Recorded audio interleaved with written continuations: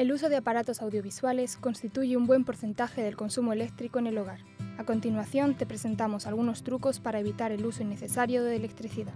En primer lugar, evita dejar los aparatos en modo de hibernación. La mayor pérdida de energía se produce en este estado.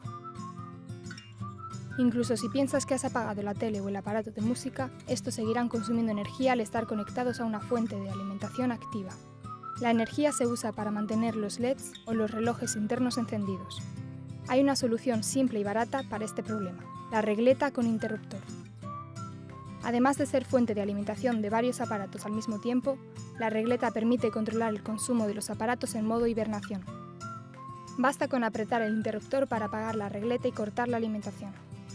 Aunque la regleta esté enchufada a la corriente, al estar apagada no consumirá energía.